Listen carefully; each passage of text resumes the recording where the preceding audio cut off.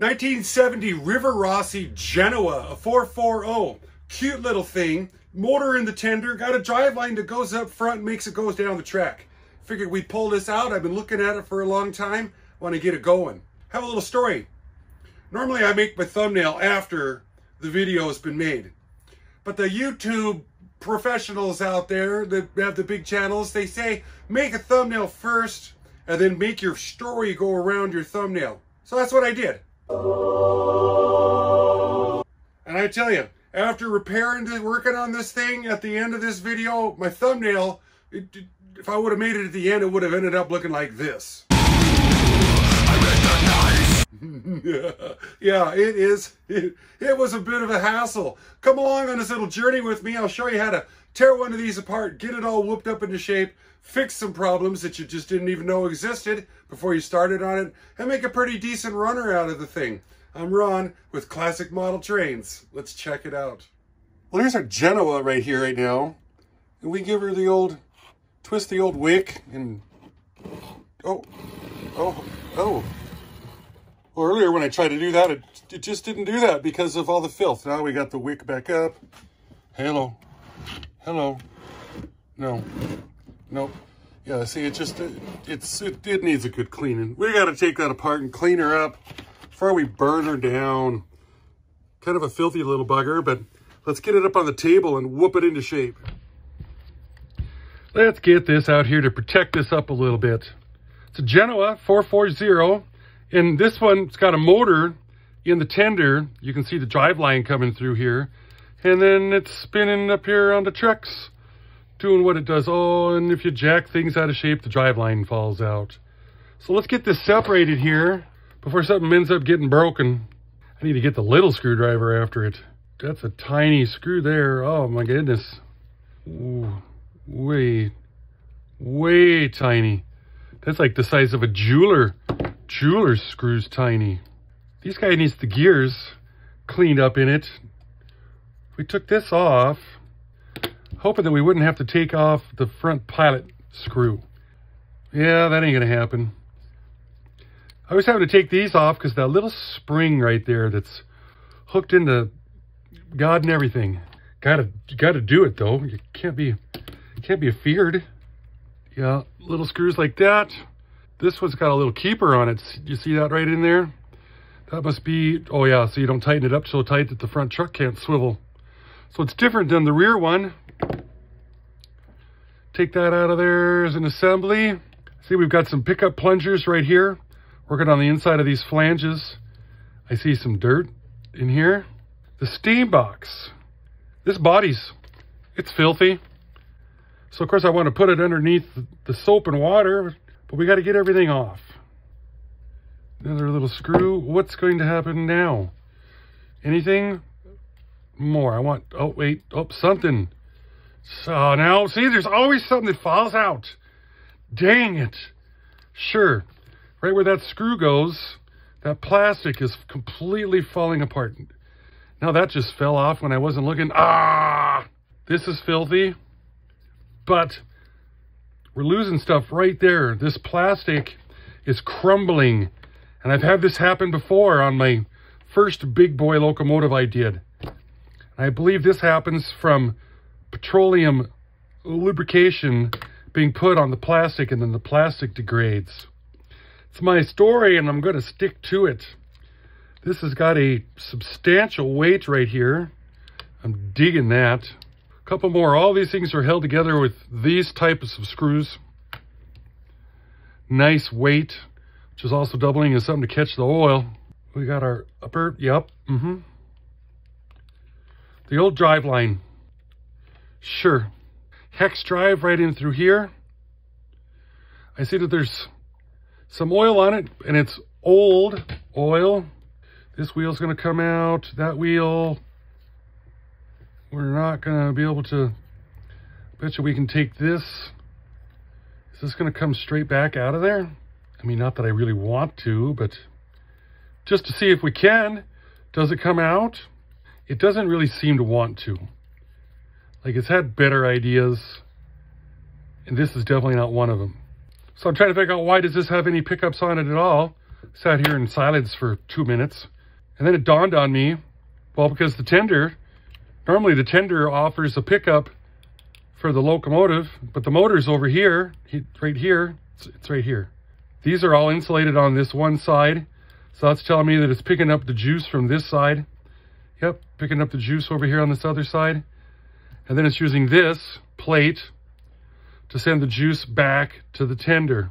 Sure, I would buy that. Oh, this is frightening. To glue that back in. Ugh. Does the pilot come off? No, the pilot doesn't come out. Nothing else is coming off. This is riveted on right here. There's just no reason to mess with that. It's almost like these are squished at the very bottom, the back end. If I can open that up, will they come out? And they'll roll right out of there. So it makes it easier to wash these bodies without the metal stuff on them. Here you can see it says Rivarossi, made in Italy for AHM. See, we've got a part number, 15552. Somebody's already slipped the old Kadee on it. Does this wood load come out from the top or the bottom? Uh-oh, now what did I do? I've heard better sounding sounds. Take these trucks out of here. Get them gently out of the way. I want to get inside. Is what I'm is what I'm attempting to do here. Okay, pickups. Sure. What is that? Them little washers coming off there underneath the pickups. Yup. Get those gently out of the way. Somebody not somebody really ground on that so you can oh okay. So the coupler's not in correctly. They just used the old Dremel cutoff wheel and they ground off the original box, got into the body. So that means this is glued on. See, didn't even do a good job right there. You guys, not even a screw in it. We'll fix that. See, somebody's work tattletaleed on them. If you're going to do it, do it. And if you're not going to do it, don't start it. Something plasticky broke out right there. What is this thing doing? How is it doing? What's it doing? It's just sitting there, huh? Okay, sure. We could desolder it right there. Sometimes you can unscrew these on the newer ones. This one's it's riveted in. It ain't coming off. This rear truck mount holds the motor from flapping in the wind. Now the boiler front just fell off. I like it when I get to see where stuff goes before it falls off and I had no idea. I'm going to have to look at the picture of this, figure these out.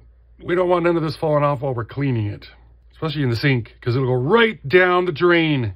Let's see if we can get this wire unsoldered right here real quick, because it's that was super easy.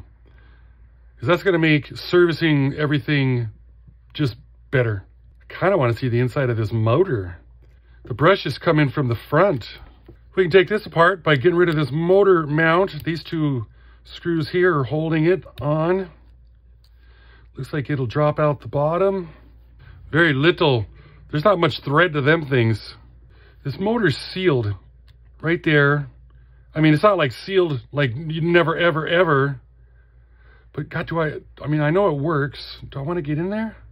These brush springs, if we can get those a little out of the way. Let me get rid of this guy. He makes it hard to see stuff.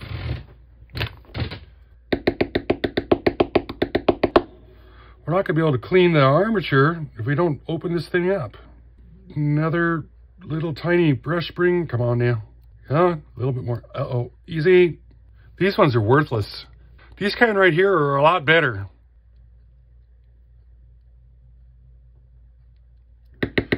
We got one brush that came out it's filthy. Here comes the, oh no. This one, yeah. One's a brush and one is a screen. Yeah. Good old Rivarossis. Well, we can still clean those up. But now, see that screen is in there to keep the, the armature shiny. It, it's, it's supposed to scrub it down. And I can look down them brush holes and I can see that armature in there and it is surprisingly clean. Yes, Yes, it is. So I do not feel obligated to pull this off. In order to do that, I got to pull this coupler off, and then it's to break, or it might not. Spray these out of the way, pull this out. Now, I'm not in the mood to do it. We'll clean her up like this. Now that I got everything disassembled, parts are scattered all over, we're to start cleaning them up. Toothbrush, Dawn dish soap after the chassis, tenders. Oh yeah, then I get a, I guess I get to glue this wood load back in. So I broke that off because it's just melted in right there. Melted in right there. I guess I didn't want to wait for the glue to dry. Buggers. Honestly. Things to scrub and clean. We'll be back as soon as this is all cleaned up. Hey, you want to hear some fun facts about this particular locomotive? I just looked them up. I didn't even have any idea. Uh, starting off with Virginia and Truckee Railroad. it's not even close to Virginia. Uh, it's it's out of Nevada. Right? Oddest thing.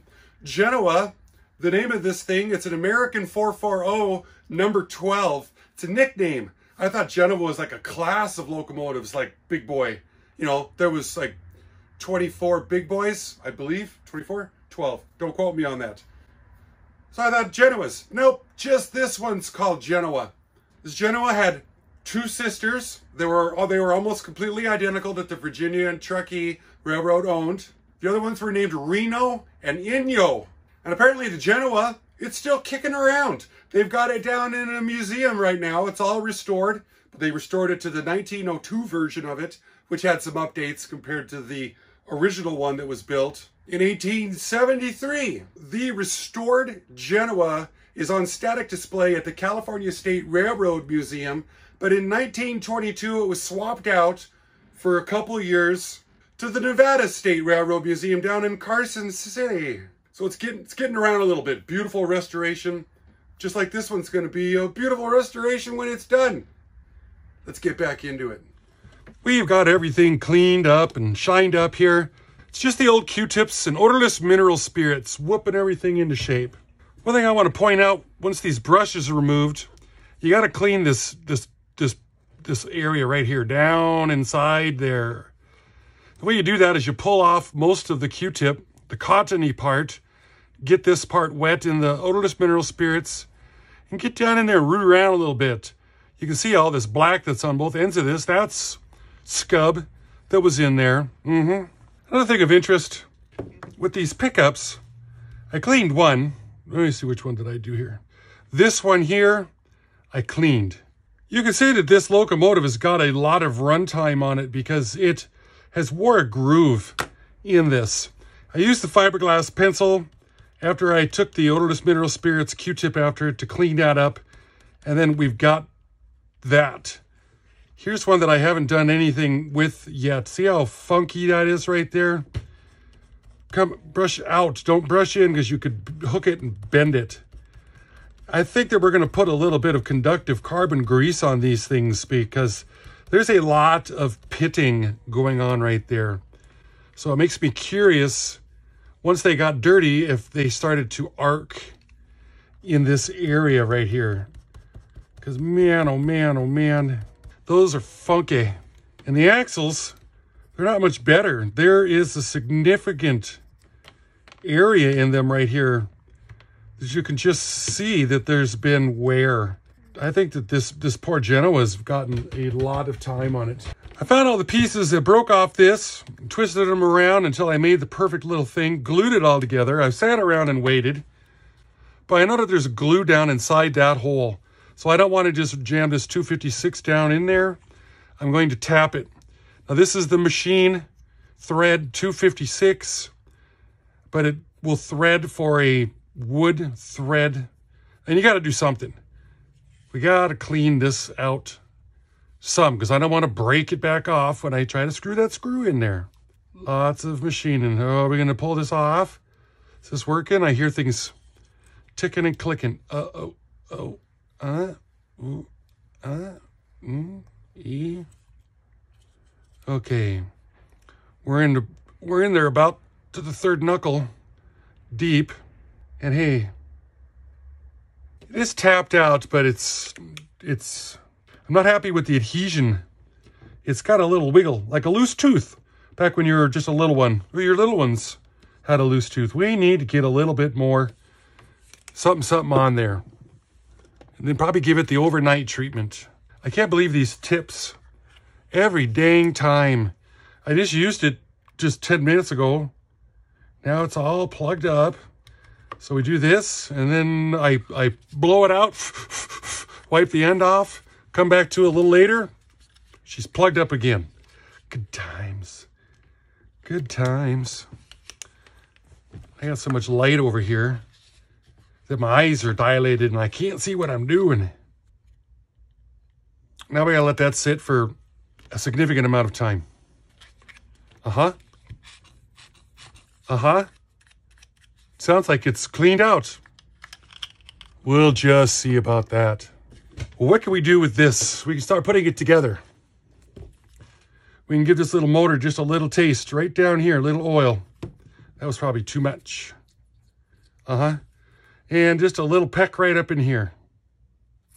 Because you don't want the oil, too much oil in here will get down onto the commutator and that will foul out your brushes.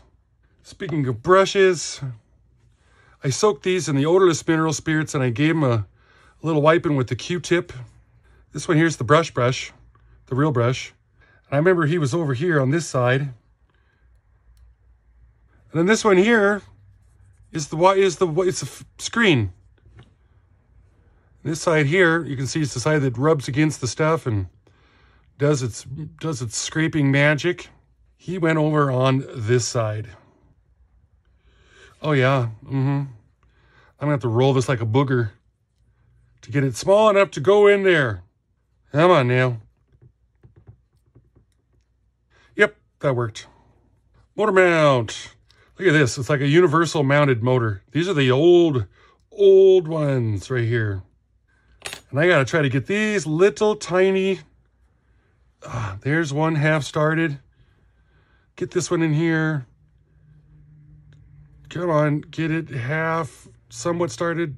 Help me out. Do it. A little more. Oh, shoot. Did that look easy? Crank these down.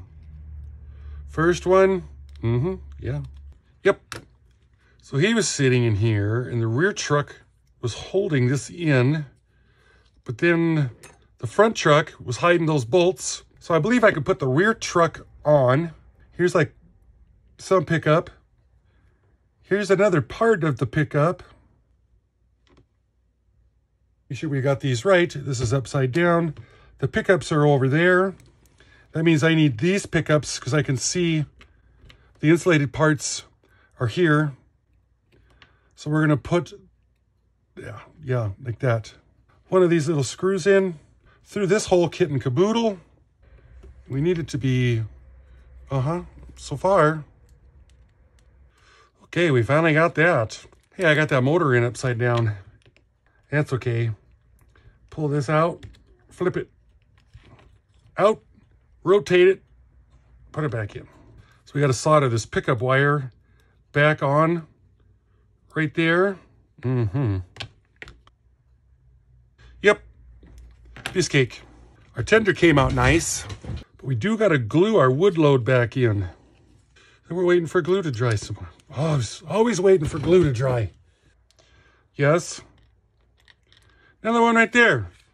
Well, now I guess I'm going to go back to watching some YouTube shorts while I wait for everybody's glue to set up. I want to clean these pickups down under these areas here as well. Everybody's, every, every little bit, every little bit's going to help. We've already cleaned the wheels. Come through and do this.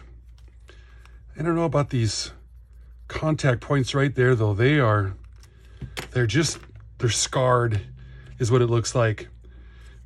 It's the next day now. Our wood load is settled in so we can focus on getting this thing put back together. So we're going to put it in like that. Latches on the back to hold it. A couple little screws are going to go in up here. Number two. I don't want to bugger up that fancy load on the top there. We'll put some protection down for it. We're to put this truck on, making sure it's timed with the other one, making sure our pickups are all on the same side. These can be a bit of a pill. I'm digging it. I'm digging it. I want to take some of this premium carbon conductive grease. You can get this from Amazon. They're proud of it. It's like 36 bucks last time I checked. Want just the tiniest bit underneath here. Oh, there's bangy sounds going on outside like fireworks. That's why the dog's having a kitty. A little right there. Do this again, all four of them. Just the tiniest bit. A little goes a long way, is what I'm saying. Yeah, that's going to help with the picking them up, pick them ups. St still got it on my hands. Ah. Since we're here, little touch of oil on the outside of these axles for their bushings that they're in. So this guy, it's serviced. It's ready to go. Come to this feller now. Glue set up on it. Got the super lube, which you can get off of Amazon also. A lot of guys always write me, where do you get that stuff at? Amazon. All of our little towns are losing our hobby shops. So you got to resort to online stuff. We're going to get a little grease underneath of these bearings right here. These bushings is what I should have said. That's going to sit in there. Give this worm gear right here just a little little taste, some. Got this weight right here.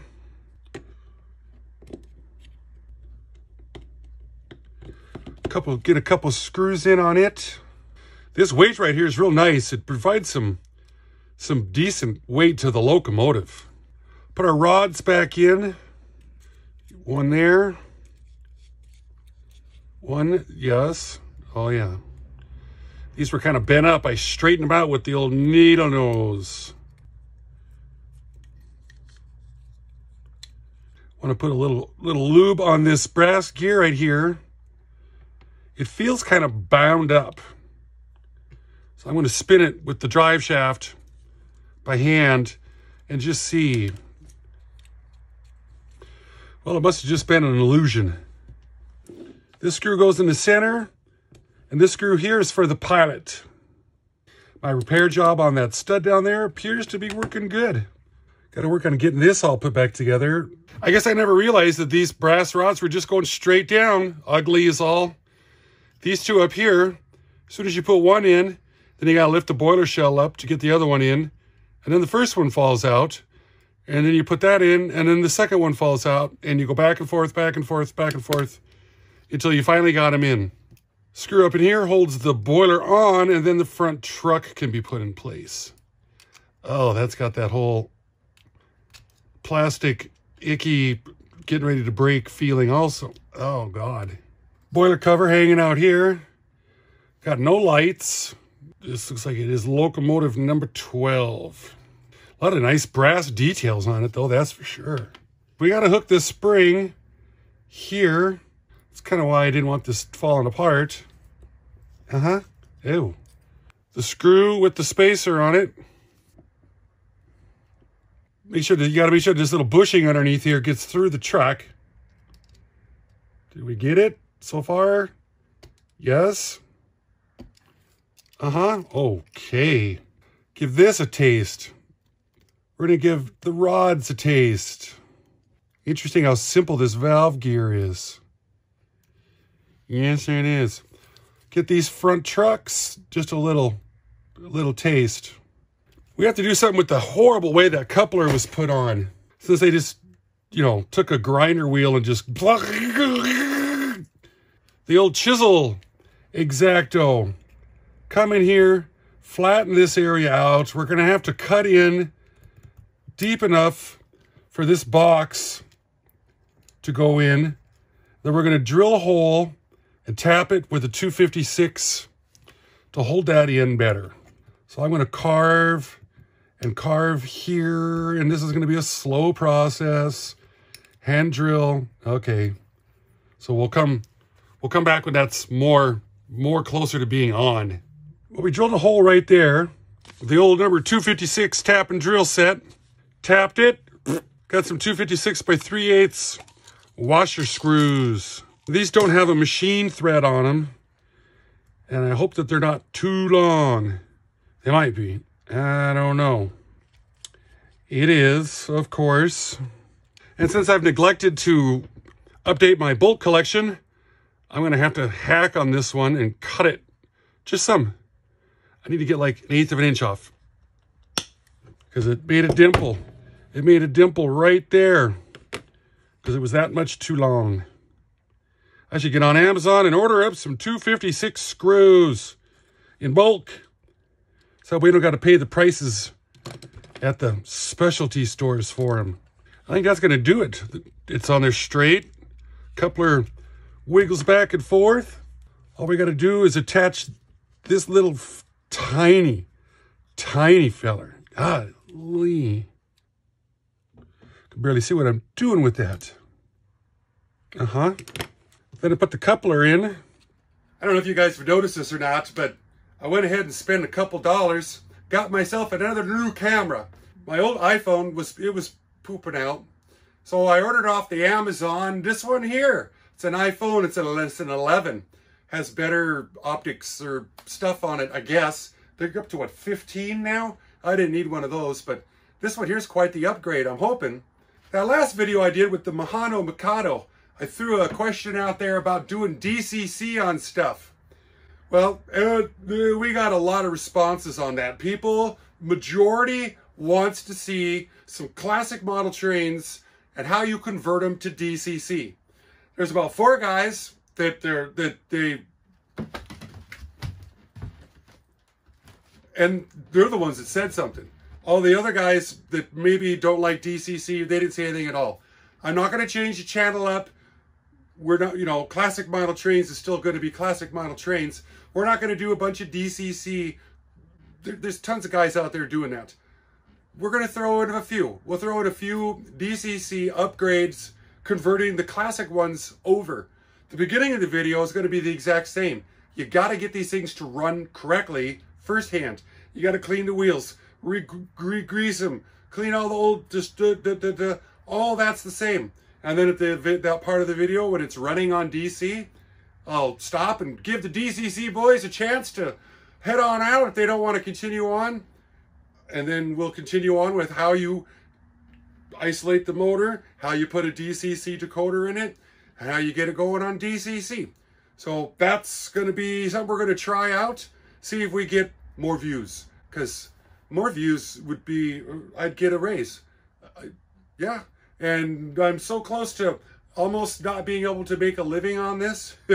if there was just more, then I could almost just do this full time until I burn out. Yeah.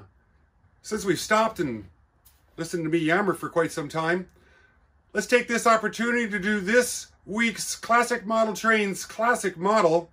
If you guys know who this is, put it in the comments down below. If you don't hang out till the end, like the usual, I'll put it in the comments down.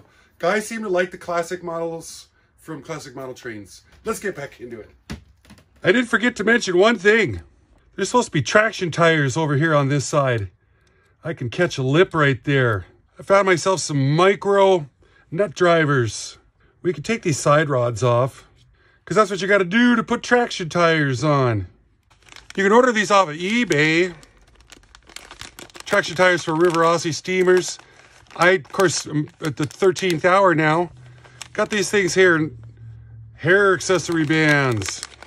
Is this going to work? I don't absolutely know until we put one on. They're pretty, pretty gosh darn thick. And I don't know if I'm going to even be able to get. Leave it to me on my 13th hour way of doing things. Pull it, hook it, wrap it. Come on.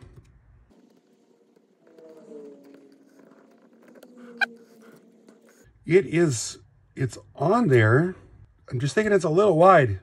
But I'm going to keep trying because this is all I got. Let's get this one over here off also. One more time. Yep, We got her all in there. So let's put this on the track and see if it's going to do what it's supposed to do. Here is an interesting problem. So we got the juices on, okay? Nothing. I had to take the drive line out because this was super hard to diagnose as it it goes forward really well. Won't go in reverse. So it's running. Uh-huh. Yeah, it's got some it's got some pickup issues. And it's not shorting out because my ammeter ain't pegging, but it's got some intermittent opens like you wouldn't believe, even after all the cleaning. Wow, huh? So we get to trace this down and try to figure out what's happening here. Good times. Took the old Dremel with the wire brush after the pickups on the wheels. And we still got, I'm trying to, got. So it goes smooth enough this direction, but you try to put it in reverse, uh-uh. It has kitty fits.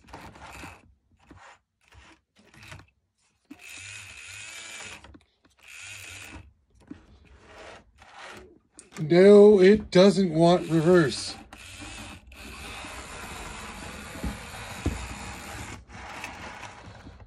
And it's kind of like when all the wheels are on the tracks. Boy, this is hard to do. I got the controller the, in one hand and the camera in the other hand, and I keep knocking everything off. And I'm kind of beginning to think that this is just a giant pile. Go the other way. You can never start. The gear kind of locks up in it. It could have a million miles on it. and that's why you know there's some play in the worm gear and the drive gear, the axles, because oddly enough, it does a really good job going this direction. Smooth. Here comes reverse. There it is. That's all she can do. I I'll pop that body off and maybe maybe it needs a shim in there something. There's just something going on. Well, here is an interesting predicament that I found. One, this this gear, it's war. There's been a lot of time put on this. And this worm, I've seen better worms. It to me it looks like it's been used a lot. See these two pickups right here? So when you put this plate on, those pickups are supposed to be providing juice to this plate so it can send the juice down this way. And it ain't picking up from the wheels. These plungers right here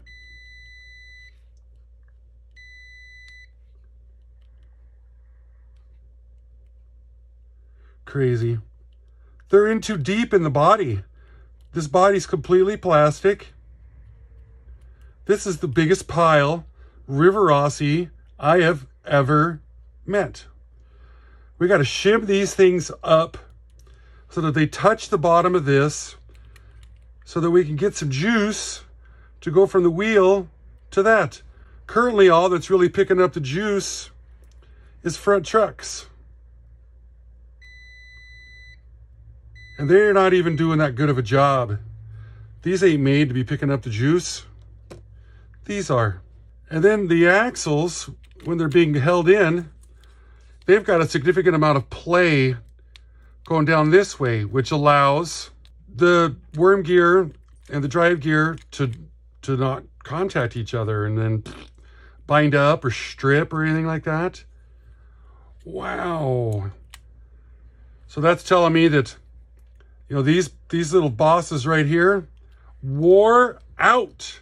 Mm-hmm. Mm-hmm, mm-hmm, mm-hmm, mm-hmm.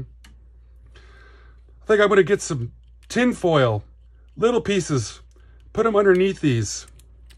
Shoot, pop these out. And we just got to shim it up. Here, up, some. Not much. There's a chance that I may be onto something here. Got the old tin foil out of the kitchen. Did the wrong thing and cut it with my most expensive pair of scissors. About 7 sixteenths of an inch wide or so. Kind of like in this area right here. And I'm going to fold it up little, very, very, not very wide. Eighth of an inch is what I'm ultimately hoping for. To shim this area up, kind of like how this one, it's up. So we're just going to keep doing this, trying to keep it straight, flat, and level. And it, it kind of needs to be substantial too, oddly enough. And this isn't, it's not getting very thick very fast. I'll tell you that. So we got the whole thing rolled up, trim the ends off. I want it to be 3 eighths. We're going to put it at the bottom of this groove. And then these guys, we're trying to shim them in the up of positions. Is it bulging out right now? Yes. Yes, it is. Wait a second. Let's put this wheel in too. That'll help out our entire cause. Get this screw back in and we should maybe have some contacts now. Look at the play in these wheels. I mean, I I think this thing is sh it's shot. I really do. We're gonna keep doing what we got, what we just did there until I can get juice coming out of both of them flanges. Now we got something here. Much, much better pickups. Go to this side. I noticed that this gear these brass bushings right here, they're below the surface of this also. So when I screw the, the, the plate on here, there is some up and down. I can see that there's a mark right here, and right here is where these two things are at. I'm going to take a center punch, put this on top of a vise, and smack it. And that's going to put a raised portion right there of just a couple thousandths. And it's going to allow me to, to press this down in there and make it one more tighter. So this is what that looks like now. And trust me, it's raised it up just the tiniest of little bits. So I'm going to assemble this thing again and we're going to see if it goes backwards. That's what we're really looking for. It goes forward really good. Okay, let's push the record button this time it'll make it better to tell this story if you guys can see what I'm doing. so let's go right forward. Oh, yeah. Let's try it backwards. That is exactly what I wanted to see out of this wore out bugger. Bugger, yes. Does she creep? Sorta. Three volts like a quarter of an amp. I got a nice little load I wanted to pull though too, so I'm gonna go get that rigged up. Seems like this has been a long road to hoe. The work only took, you know, a day, less than a day, and then filming, of course, and editing two days. But it wasn't that bad once we figured out what the little problem was. Let's take a look at these. You might have seen these passenger cars as we drove by them a little bit earlier. These were donated to the channel by a feller named Owen McCarthy's out there in the Buffalo, New York area.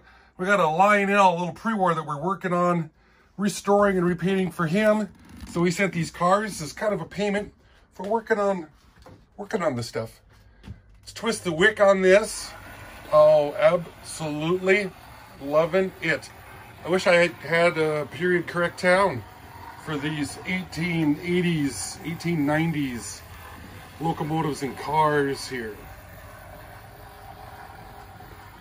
But I could not be happier with the way that this has come out. It is quiet. It's running. I don't have to bang on it to get it to move. Well, thanks for coming along with this ride with me. Uh, springtime arrived, I think, yesterday. And today we're supposed to get nine inches of snow. So, yeah, first time it snowed all winter up here is on spring. So Thanks for sticking around and watching all the 33 percenters out there. We'll see you here in hopefully less than a week. I'll get another one cranked out. Thanks so much. I'm Ron, Classic Model Trains. Bye-bye.